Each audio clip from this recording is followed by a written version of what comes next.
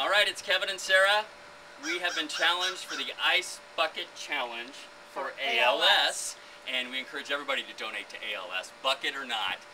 It's a worthy cause, but we had a uh, uh, email sent in, and she wanted to nominate us for the ALS Ice Bucket Challenge.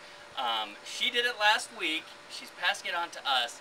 Her mom passed away from ALS, and she was best friends with her mom. And she says this is a great way to bring awareness for the disease.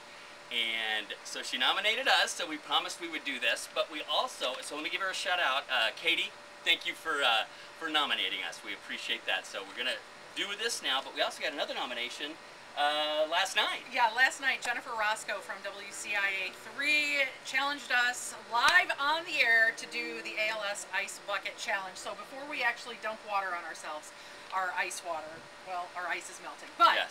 uh, we need to throw out our challenge. We are going to challenge Derick Fabert from WCIA 3, chief go. meteorologist.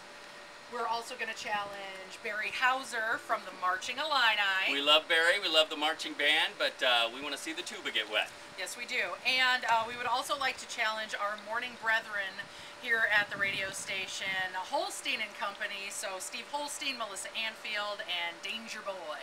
Andy, yeah. So, uh, and also we want to do some stars, right? Yeah, we're uh, we're a fan. Uh, we are huge fans of a certain celebrity couple. Uh, one for each reason, I guess. Uh, so we're going to throw out a celebrity challenge to uh, Henry Cavill. You better know him as Man of Steel, and Gina Carano, who you are a huge fan of. Yeah, she's MMA actress. She's just hot and just want to see her wet. and they are adorable as a couple. right. And uh, we throw down the gauntlet uh, to Gina Carano and Henry Cavill. So All without right. any further ado, Are You ready? yes, Three,